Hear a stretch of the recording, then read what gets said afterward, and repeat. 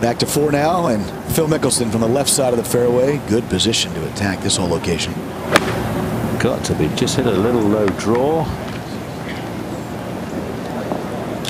Mm, Works out. Okay.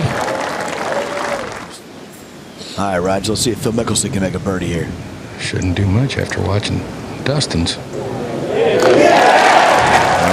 Perhaps, perhaps that will kickstart Phil's day after three consecutive pars.